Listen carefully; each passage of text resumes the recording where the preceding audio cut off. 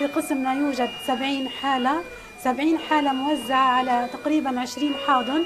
بما معناه إنه حوالي في الحاضن في عنا أربع أطفال أو ثلاث أطفال. وهذا طبعا بيأثر على المستوى الصحي تبعهم. آه، قد ما بنقدر نشتغل معهم قد ما بنقدر نحسن من وضعهم الصحي لكن السبسز منتشرة بشكل كبير والعدوى منتشرة بشكل كبير بيناتهم لأنه الحالات كلها جنب بعض. يعني المفروض كل حاضن يكون في عندنا حالة واحدة.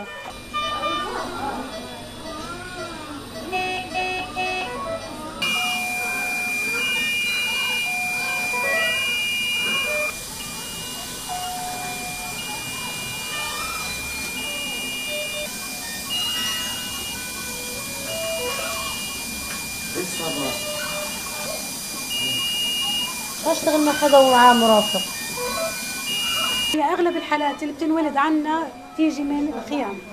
يعني بيجوا يتلقوا عنا العلاج من الخيام بيرجعوا تاني للخيام. لما يرجعوا لنا بي- بيرجعوا بأسوأ وضع. هاي مشكلة بالنسبة لنا يعني إحنا قد ما بنشتغل معاهم قد ما بنقدم لهم على الفاضي ما في أي تحسن صحي نظرا للظروف اللي هم عايشين فيها في الخيام والوضع الصحي في الخيام كتير سيء.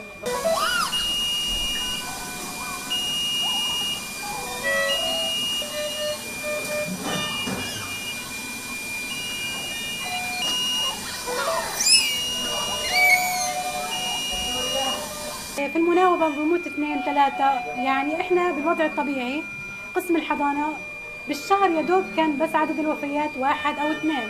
لكن حاليا إحنا كل يوم بنفقد أطفال كل يوم بنفقد أرواح أطفال. آه، ذنبهم الوحيد إن هم عايشين في غزة.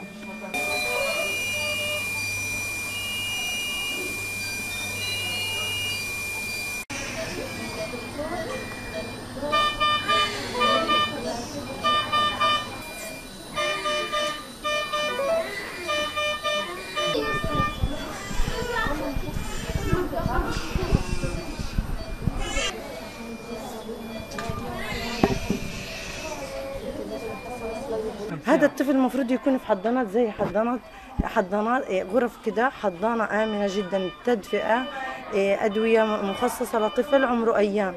ح- ومفروض الأطباء يعالجوه. لكن من كثافة الأطفال فسابوني مع ابني وقعدوني في المكان اللي أنت شايفني فيه عشان أنا أرعى ابني بدل الحضانة. ما فيش مجال انه يحطوه في حضانة لأنه الحضانات الموجوده عددها قليل جدا والأطفال عددها جدا كبير.